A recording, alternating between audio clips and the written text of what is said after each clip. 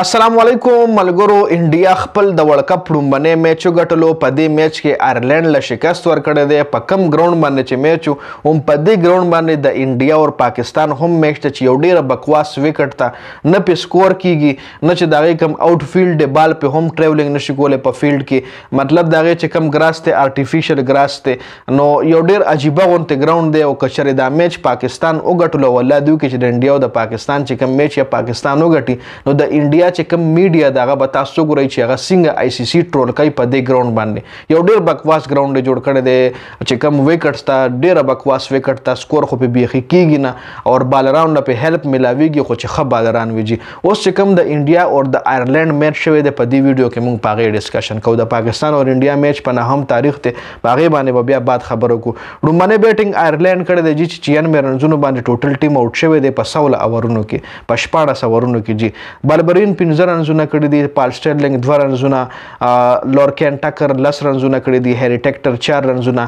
کارټس کیمفر دولس رنزونه ډاکرل درې رنزونه ډیلانی 26 رنزونه کړې دي مارکډر 3 میکارټي 0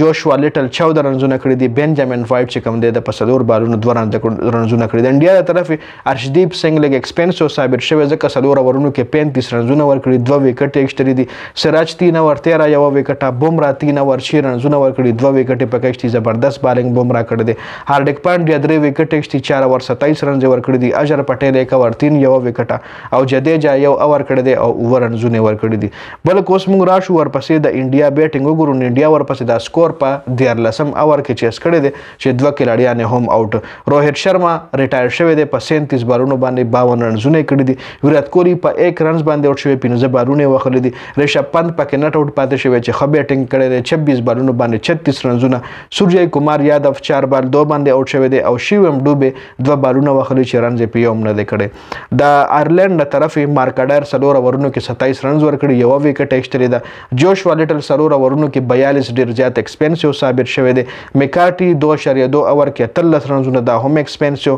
کرټس کیمفر یو اور کړی دی سلور رنزونه ورکړي دي بنجامین یو اور کړی دی شپږ رنزونه ورکړي دي او یو وکټ پکې بنجامین وایټ هم ایستلې چې دا سپینر بالر دی نو دا وکټ چې کومه ده د نیویارک وکټ ته په نیویارک وکټ باندې دا میچ آیرلند او انډیا چې انډیا ته دا میچ په اتو وکټو باندې ګټلې دي نو انډیا ښه پرفارم کړی په دې میچ کې د آیرلند خلاف خو وکټ ډیر زیاته بکواس وکټ د ویډیو سٹارټ کې مدل مو وی چې پیچ کنډیشن دا سړي چې به تاسو د پاکستان او انډیا میچ کې پته ولګي او ها بل ټاس چې کوم دی یار ټاس د انډیا چې کلم میچ نو ټاس کې سنا سره راځي جی ټاس روهر شرم اکثر ځان د دومره لري چې کم امپایر چې کوم وی چې هغه ټاس پسې ورشي لري لاړ شي جی نن خو عجیب کار په ټاس کې دا شو بیګانی میچ کې چې ټاس کله وشو نو پیله هغه تر ډمپایر وی چې ټاس آیرلند وګټلو او بیا نه وای نارلند نه ګټل ډایرک هغه ټیم وای چې ټاس روهیت شرما وګټلو انډیا وګټلو چې ټاس کې اکثر د انډیا میچ کې یار دا ایشو را دي چې آیا دا څه وجره د دې رائے را سره تاسو په کمنټ کې پېښ کړئ چې ټاس کې ولې دا مسلې د انډیا طرف راځي د ویډیو کتلو زیاته مننه ویډیو ضرور مخکې ملګرو سره شریک کړئ والسلام